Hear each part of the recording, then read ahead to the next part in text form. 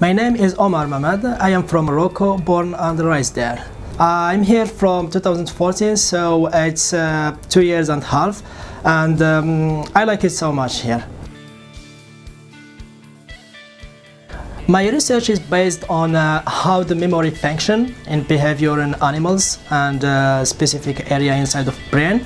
Here we work mostly using um, optogenetic which the new technology to uh, control the activity inside of the brain. I'm involved as well this year for to establish the, for the first time the link between uh, um, like what you call Erasmus, but between Morocco and uh, and Ireland, specific Trinity College at Meix University, Mohammed V in uh, Morocco. And this is also uh, by help of the embassy, Moroccan embassy here.